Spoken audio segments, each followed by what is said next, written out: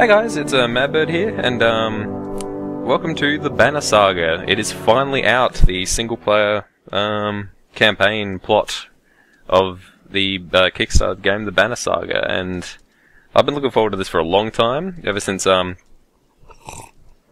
have to drink of my apple juice. Uh, ever since me and Howard, probably about a year ago, did um, had a look at the what was it called, Banner Saga Factions, the uh, multiplayer free to play equivalent thing. And I pretty much fell in love with the art style immediately because it's just all beautifully hand drawn and beautiful in general. Oh, hang on, just a second. There we go. Thought it'd be a good idea to have the mouse cursor on so you can see what I'm doing. Um, so yeah, we are going to. I've, uh, as you can see, it says resume or restart game, or uh, because I had a I had a quick play of it and played the first chapter, and it it seems really good. So um, hopefully this will be good. Uh, hopefully you'll enjoy watching these videos of me nattering incessantly, since there is a lot of dialogue to read. So um, let's get started. Yes, I want to really restart the Banner Saga. The story in the Banner Saga changes based on the choices you make. You will occasionally switch between lead characters, witnessing the story unfold from different perspectives. I really like this map. The gods are dead. In their wake, man and giant survived through a tenuous alliance, driving black, driving black destroyers called Dredge deep into the northern waste. Now it is an era of growth and trade. Life goes on. Only one thing has stopped. The sun. It's really simple, but I love the lore and the world that they have going on.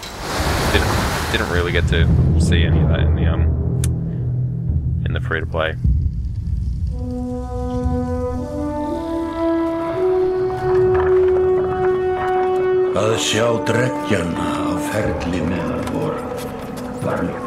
It has been several long months on the road. The first signs of snowfall accost us on our approach to Strand, largest of the trade cities on the Varl human borders, and our last collection before returning to the capital. Several days ago, the sun simply came to a stop in the sky. Though during these long winter days, none of us can be certain how long it has been this way. Some of the men in the caravan have taken it as a dire omen. I am not quick to superstition, but I myself will be glad to be done with this year's rounds. We have been warned by stranded travelers about brigands on the path through Richhorn, our road home. Our captain seems unconcerned. Perhaps he is as eager as I to be done here. We will rest here this day and inquire further when we speak to the governor.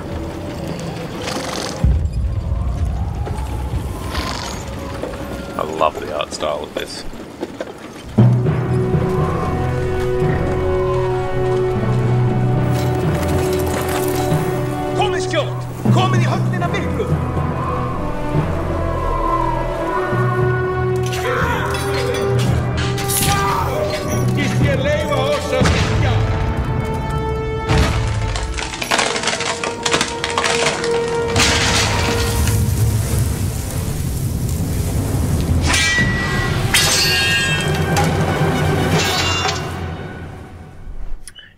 So if anybody, if anybody of you, if any one of you uh, played the uh, the multiplayer free to play section, you'll probably recognize this because it is pretty much the same.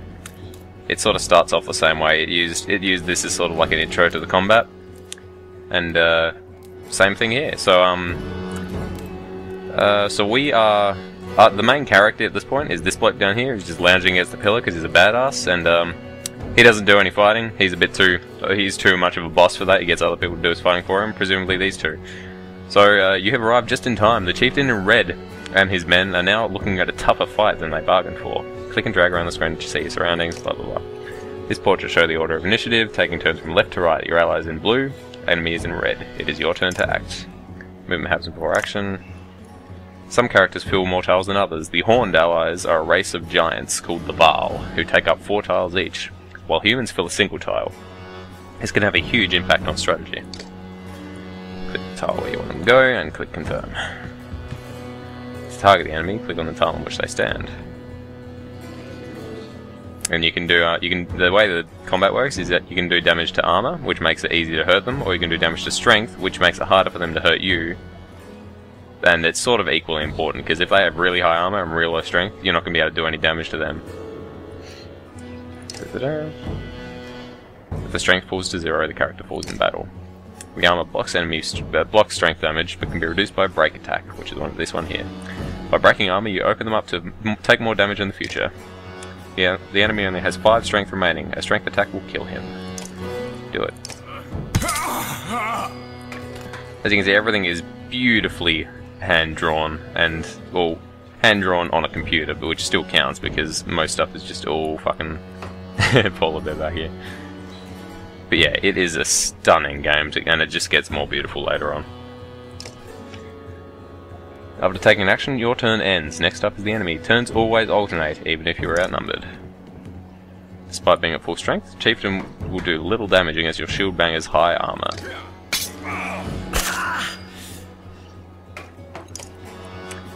Uh, you get you get you have um, willpower, which you can basically use to do a bit more damage or move a little bit further. By clicking the gold tiles, the character can move further than usual at the cost of one willpower per gold tile. Red pulsing tiles beneath your enemies show how close you have to be to get in range. Move your Warhawk into attack range now. Standard attacks only affect a single enemy, but your Warhawk has a special ability to give him a unique advantage. Tempest.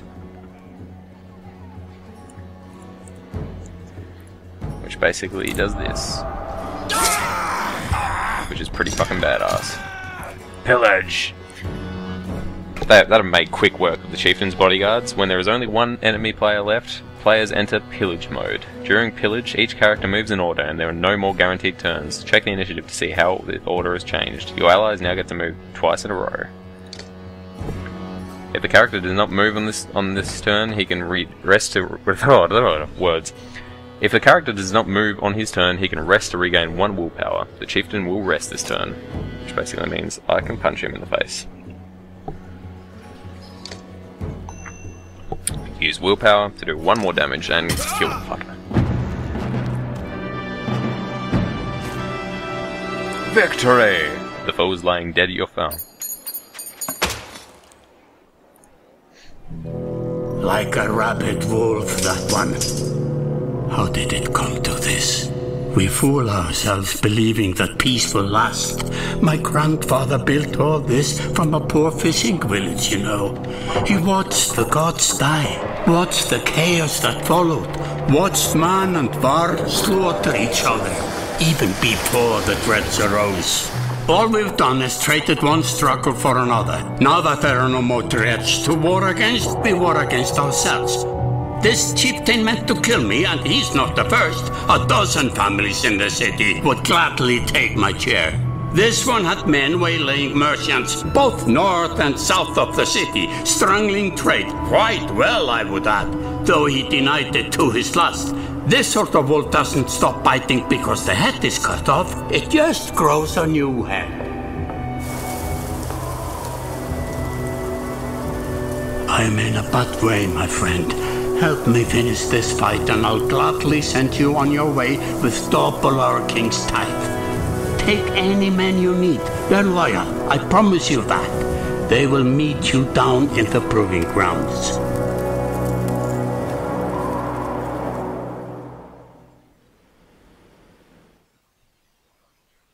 Chapter 1 Only the Sun Has Stopped.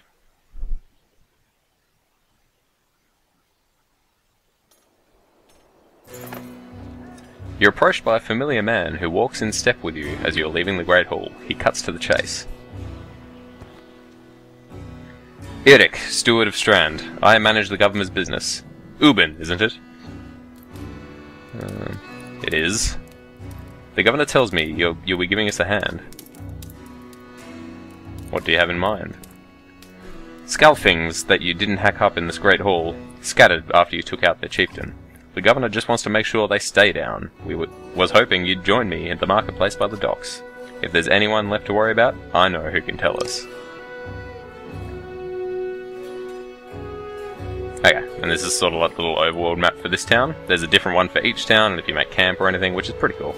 So there's the market down here. Uh, just a bit of backstory first. Uh, so basically, the gods like fought themselves to death. I think I'm not 100% on the plot. And then there's the Varl, who are the big giant guys, and there's humans, obviously. And the Varl and the humans were sort of at war, but then they stopped, and because there's um sort of like demon, think like Darkspawn from Dragon Age or whatever, just sort of ambiguous enemy appeared, the Dredge, who were these sort of like mechanical demon guys, and um yeah, so they showed up and they sort of had to unite against them, and now there's this truce between the Varl and the humans, and that's pretty much it. And the sun has stopped, which is pretty cool. That's a really nice concept. Let's go to the market. Let me handle this. You meander through rows of open-face houses and eroded stalls. Coloured canvases flap on a briny current. One man in, partic in particular blanches at you as you approach. Had, I'm not in the mood today. For for what? Talking to an idiot. Well, the Scalfing's chieftain bled out about an hour ago. Had so you so when you tell me where what, so when you tell me what right anus the rest of them crawled back into, nobody's going to try to kill you this time. I don't talk to they don't talk to me. I don't have the patience for this. Had sweats visibly, fumbling with some dirty trinkets on his table. Wait, just buy one of these. If everyone thinks I'm getting worked over every week, how am I supposed to know much? Just a little food money, yeah? Uh, yeah, we'll pay him. You toss a sliver of silver, say that 15 times twice, on the table. Both men look at you with surprise. Had gestures, me gestures meekly at a variety of junk from his stall. Take whatever you like. Only thing I'd like is the name of the place. Nobleman, up by the east wall. But that was months ago, last I know. Had skulks away with a wave of Eric's hand, gathering things from his hovel. Disappearing for a while until this blows over, you figure. Your bodyguard steps forward. Gunnulf. This guy's pretty cool. Are we done? Are we done here? Gunnulf, were you wearing green back at the Great Hall? No, just bought them when we were walking around. Why? You look like a frog. Better than an eggplant. Gunnulf goes off to look at some more stalls. Eric, that man of yours seemed unreliable at best. A blind dog wouldn't trust Had, but he used to be a scalping, and if they're licking their wounds, they've probably gone to old haunts, not new ones. Nobleman is a mead hall. Best I can tell, the name's ironic. Listen, I know a guy who would love to put a few of these skulls in the ground. I'm gonna go find him. I'll meet you there.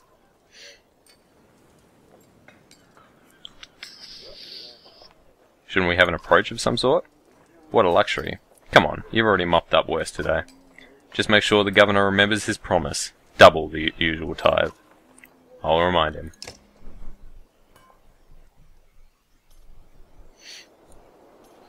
Let's head to the meat house. You arrive in front of what must be the nobleman. A few minutes later, Eric appears, with a weather-beaten man introduced as Valgard. I'll point them out, Eric says over his, shoulder, over his shoulder. Ready? You're walking through the front door? They ran to a mead house, says Valgard. I'll be surprised if they can stand up straight right now. Okay, here we go. Valgard boots the front door open so hard it won't close again without repair. As you enter the hall, Eric is already at the head of the table, his axe drawn. Wide-eyed, drunken scalfings scramble to find their own weapons, turning tables and mead steins in the process.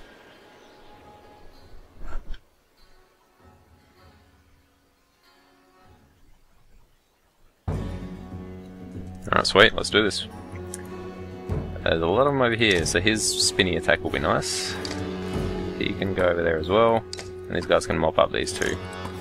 Look at him. Look at Uden. Just standing there like, yeah. I don't even care. I'll just watch this happen. Okay.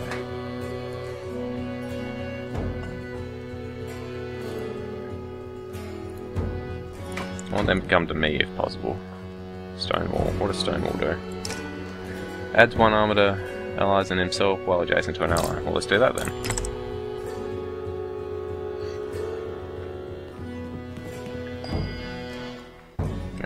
Interesting choice.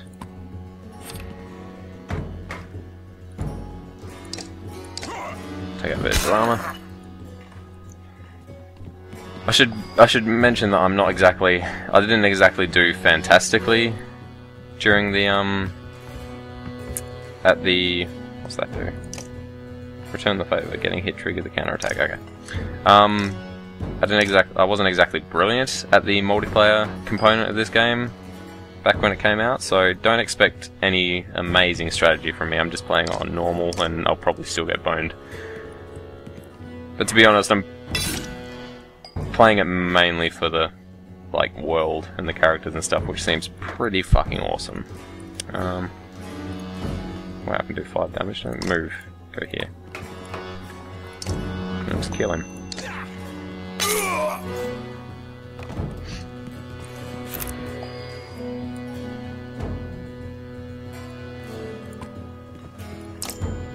Mean to do that. What does Rally even do? Gives 2 willpower to any ally in range. Yeah, we've got 4 willpower pretty much. Let's just attack this guy. Let's make it a bit more spicy. Oh, some of the animations, the anima or the animations in general of this game are fucking beautiful, but some of them in particular are really brutal and amazing. Go here, go here. Sorry. Have a noisy slurp. That guy. Perfect.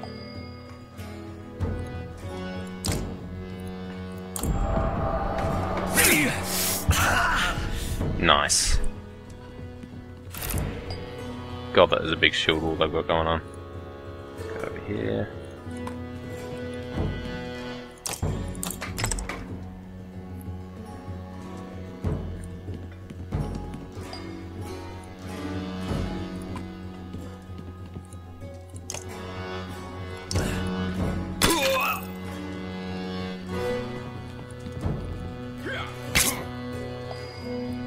Can st can take care of himself. Don't worry about him.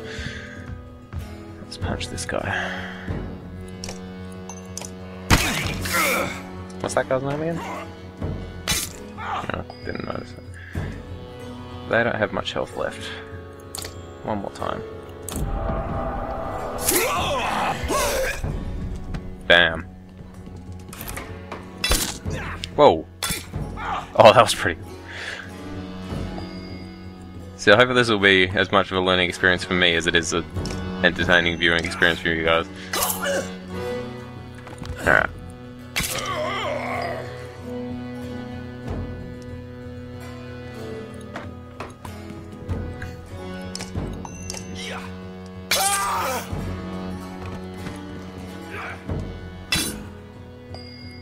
Man, they really don't like Gunnulf. Fair enough, I guess. Cannot have much health left, surely. Yeah, only two health left. This isn't going to go well. Um,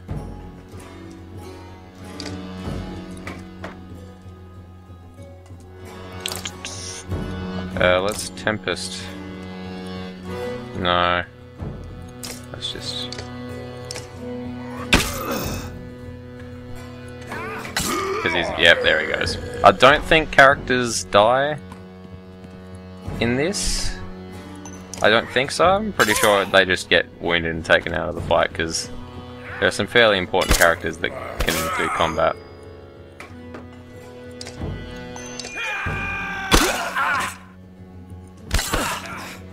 Little asshole. hurt himself almost as much as he hurt me. Okay. Finish him off. Pillage! Let's finish him off. Bang. Dun-dun, dun-dun. That's it. Victory! The foes laying dead at your feet will regret ever crossing your path, if something or other. 1, 2, 3, 4, 5, 6, 7, 8, 9, 10, 11. Renown. There they are. Gods be damned, I've got to go wash off this blood. Eric is looking out the hall's windows onto the bay. A fleet of longships approach with sails of blood reds and blues. One banner I know well, Vognir. Next for the Varl Kingship last we spoke. The other flag? Looks important. Yeah, important guests. See what I deal with all day long? Ah, things make a little makes things makes a little more sense. It's not great English. You hoped I'd have a stake in saying everything's fine here when the royal guests arrived. Not me, the governor. Now I have to make sure there are no rotting bodies or pools of entrails still in the Great Hall before they come by. Can I ask one more favour? What is it? If you happen to stool our guests down at the docks, I wouldn't object. Maybe I will. Eric and Valgard hustle from the meat house. To his credit, Eric tosses the barkeep a spar of silver for the mess. You give an apologetic shrug and go to greet the new arrivals down at the docks.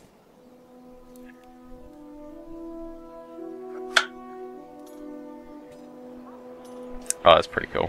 I didn't notice that when I did it last time. It actually shows the fleet of longships coming in. I really like how this looks like with the different layers and the panning and stuff. God, this game, so pretty! So pretty. Vognir. A familiar Varl steps onto the docks. In your mind you recall a much younger version tramping the halls of Grofheim, abundant with in purpose. Gods, Uben, you're looking ancient. Comes with being old, and if there is a Vognir, there must be a Hakon.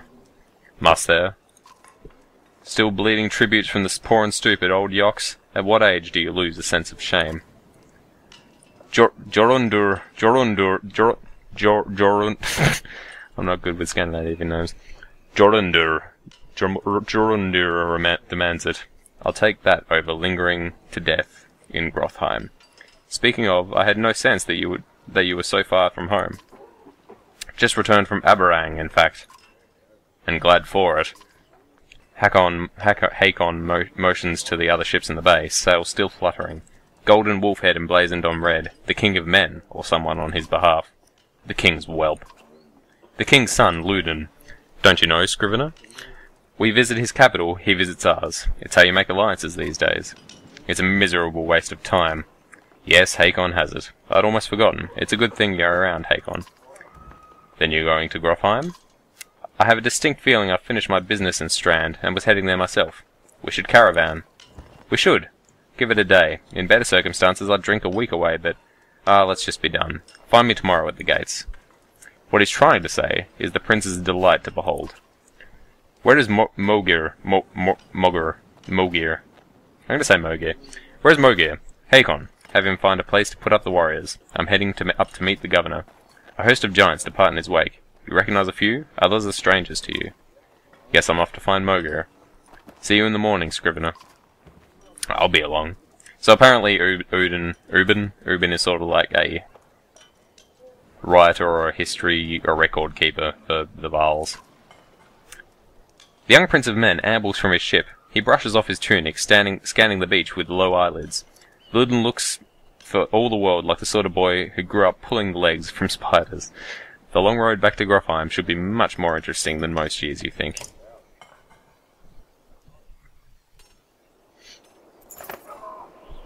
Weariness suddenly settles in, and you chuckle to yourself about what an odd day it has been. One of the governor's men at the Great Hall could find you a place to sleep. On the other hand, if you're going to join, if you're going to join Vognir's caravan tomorrow, it might not hurt to share a drink with Hakon, or introduce yourself to the prince they spoke so highly of. Uh, let's go talk to Hakon. I didn't do this last time. Scrivener! You find Hakon in a meat house surrounded by other Varl.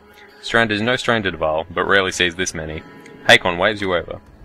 Went straight for a flagon? Vognir is the one who agreed to pass up a drink. I wasn't invited to the governor's hall anyway. You already missed the massacre. Every year I make the rounds collecting taxes. Every year it's the human settlements that give me trouble. No surprise. What this time? When I got here, the Great Hall was already full of bodies. We added a few more. Ha! Humans. I guess if I only lived as long as a Yox fart, then I might be desperate to make something of myself too. It's not too late to start trying, Hakon. Hakon let slip a low chuckle. Any Varl could recount his could recount his deeds, known as he is for cutting a swath through Dredge at Vognir's side in the Second War, and regularly and regularly since then. Down here, I'm a glorified bodyguard. You might have a point. Just another reason to get back to Grofheim. Soon enough, I imagine. You drink until the meat house becomes overbearing, then step back into the cool air outside.